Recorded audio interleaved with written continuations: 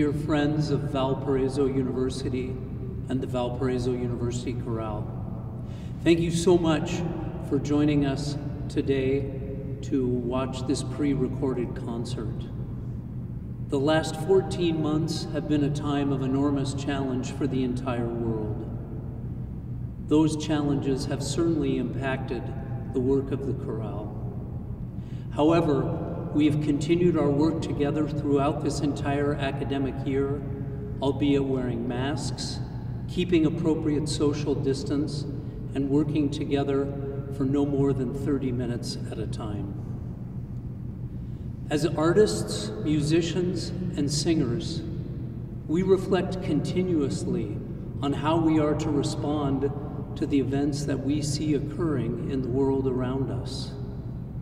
And in this response, we are called to offer hope, redemption, and healing. Even 12 months ago, I began to think about Brahms' Requiem. Brahms purposely titled this piece Ein Deutsches Requiem, a German Requiem, because he wanted to distinguish clearly the uniqueness of this idea as something different from a traditional Latin Mass remembering the dead. As he grieved the loss of his own mother, Brahms set to music biblical texts that he himself selected to console the living and undoubtedly himself as he worked through what was for him an enormous loss. Certainly today, we all feel that sense of enormous loss related to the ravages of COVID 19. Just a few weeks ago, we received word that we would be allowed to return to this iconic space, our spiritual and musical home, the Chapel of the Resurrection. Upon receiving this word, I immediately conceived of two short a cappella works that would frame the three movements of the Brahms Requiem that you will hear today. And that these might be framed in such a way, one offered as a prelude, and the finale, a benediction.